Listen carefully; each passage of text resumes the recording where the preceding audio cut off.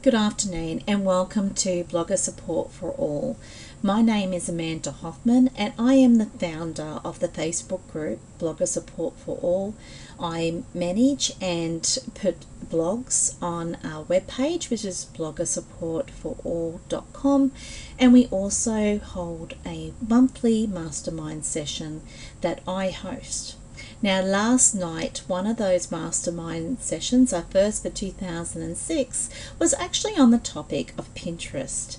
And we were talking around the basics for your Pinterest strategy and growth, gaining more followers. During that session, they asked me a little bit more about the Pinterest following and they also wanted to understand about the Pinterest search bar and how to use that to ensure that people can find you. So I promised them I would do a video on that and that's what we're about to do now. So you can see my Pinterest account here in front of the board. You can see my little icon moving around and this is the Pinterest search bar. So they were saying to me how can we use the Pinterest search bar to ensure that our Pinterest boards, which you can see down here, are relevant and able to be found by other people when they're using Pinterest.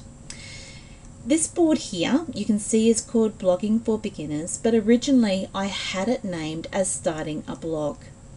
Now the reason why I changed it to this name was if I go to the Pinterest search bar and type in blogging, you can see that there are four different points that come up. There is blogging for beginners, blogging tips, blogging ideas, and blogging for money.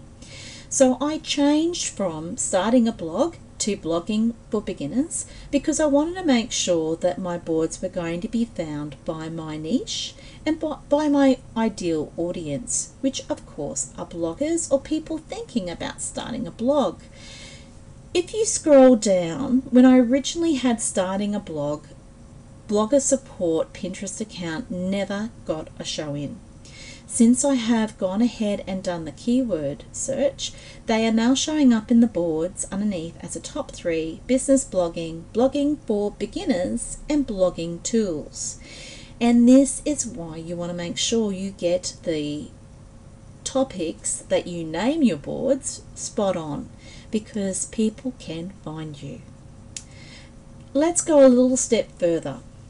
Last night we had a wedding photographer and he was wondering about how he was going to name his boards that are relevant and people can find him. So I've just typed in the word photography and it comes up with photography ideas, photography tips, photography poses, and photography quotes.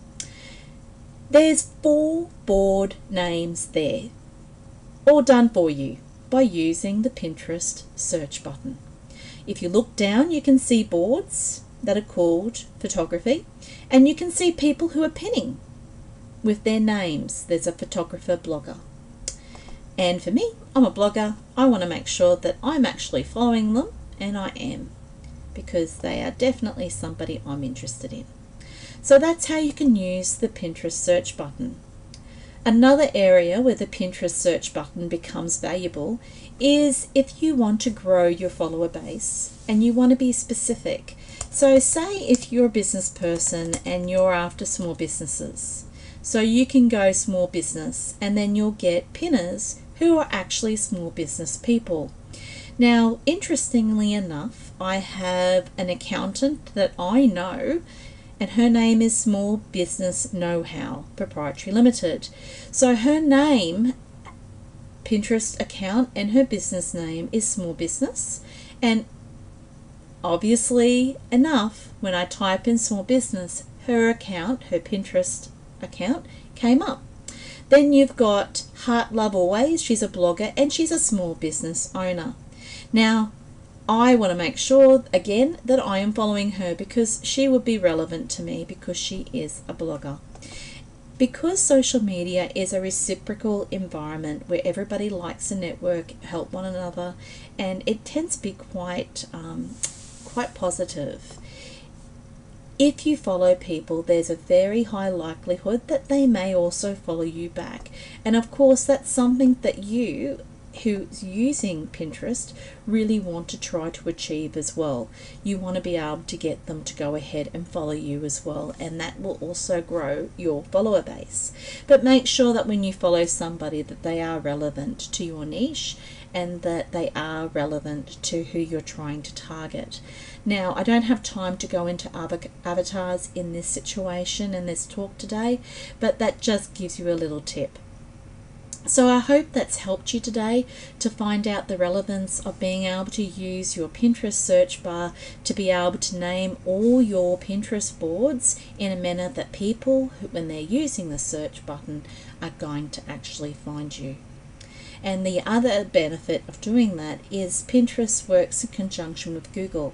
So if you can ensure that you're using keywords not just in your board name, but also when you click on that and you have a description underneath, make sure the description is there. Don't just have a board with the name.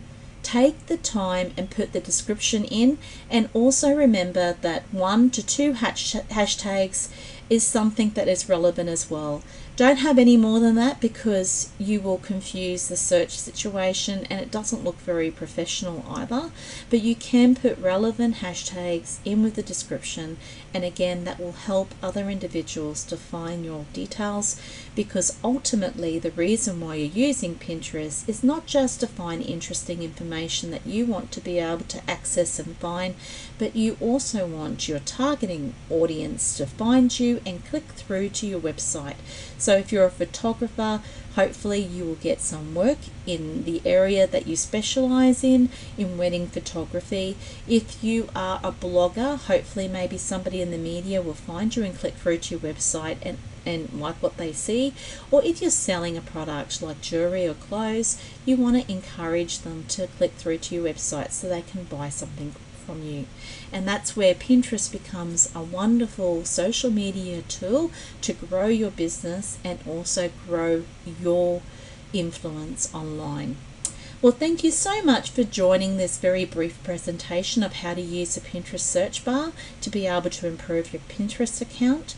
My name was Amanda Hoffmann. If you'd like to contact me, you can do so by email at info, I-N-F-O, at bloggersupport.com for Alternatively, you're more than welcome to join our Facebook group. You'll need to invite yourself and make sure that you put through a personal message to me personally and informing me of who you are, what your blog URL is, and also what your niche is. Thank you again and have a fantastic, productive, and exceptional week.